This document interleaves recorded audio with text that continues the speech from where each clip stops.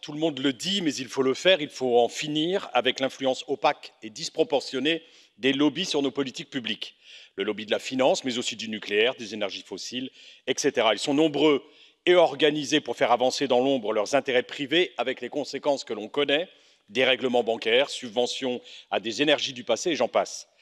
Il faut plus de transparence pour lutter contre ces forces de l'ombre car on est loin d'en avoir fini avec la corruption même en france aujourd'hui comme en témoigne à titre d'exemple le dernier rapport du conseil de l'europe du neuf janvier deux mille vingt qui pointe la persistance de zones grises dans la lutte contre la corruption et qui appelle à une plus grande transparence dans les contacts entre l'exécutif et les groupes d'intérêt afin que leur influence sur les décisions soit plus claire.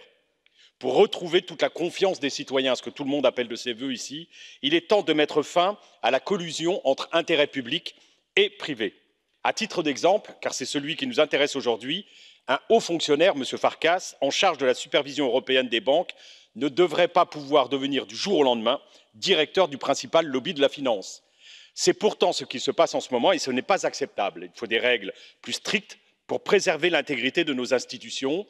on a besoin par exemple de fixer des périodes plus longues de transition entre deux activités au conflit d'intérêts potentiel avec interdiction de badge d'accès au parlement il faut surtout une supervision véritablement indépendante lorsque de telles situations se présentent grâce à la création de cette autorité indépendante pour l'éthique que vous évoquez dans votre propos quand on dit vouloir défendre l'intérêt général il faut agir en conséquence en commençant par accepter la transparence et la clarté. merci.